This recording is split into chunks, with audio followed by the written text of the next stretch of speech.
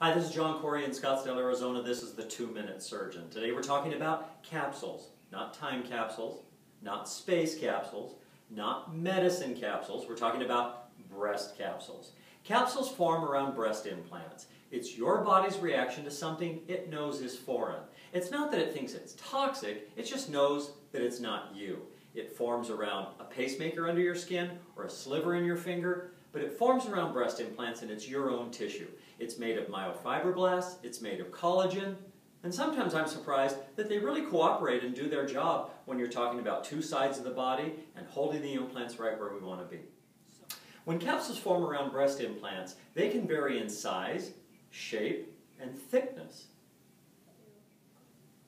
They can be as thin as a plastic bag, and usually that's the way they form in the body. Just maybe a little smoother than that. Other times, it can be a little thicker, more the consistency of like, oh, a shoebox. And while other times, it can be as hard as plasticware.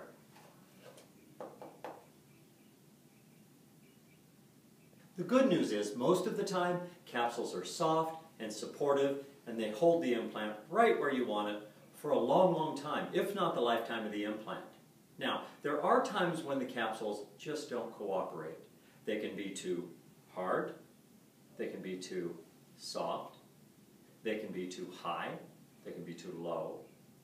The good news is most of the time capsules cooperate, they're soft, they hold the implant right where we want it, it lasts for a long, long time, if not the whole lifetime of the implant, and it's a little bigger than the implant, allowing the implant to just kind of move freely in there, which gives it a very natural look and a natural feel. Now there are times when the capsule misbehaves, and it doesn't happen very often, but it can occur. And what happens is the capsule can become too tight, the capsule can become too large of a space, it can become in the wrong place and become in a bad position, or it can become very thick.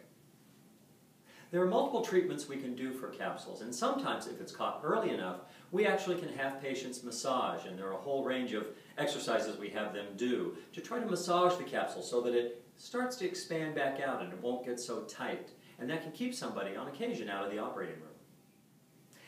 If we have to go back to surgery, it really depends on what the problem is. For example, if the capsule is just slightly too firm, we could go in and make little cuts in the capsule and open that space back up and make that space a little bit larger and a little bit softer. That's called a capsulotomy. It's like craniotomy when you make an otomy in your cranium, or an episiotomy when you make an otomy in your episio. If the capsule's too big and too stretched out, sometimes we have to go back and put stitches in that capsule to tighten it up or close it up, and that's called a capsulorrhaphy, like a herniorrhaphy, where we're sewing a hernia sac.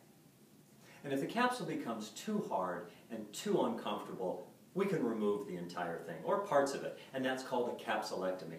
It's like an appendectomy when we remove the appendix, or a phelectomy when you remove your 30-year-old from the house and tell him to go get a job. But again, most of the time the capsule cooperates, is supportive, is thin, and does its job. This is John Corey in Scottsdale, Arizona, the Two Minute Surgeon.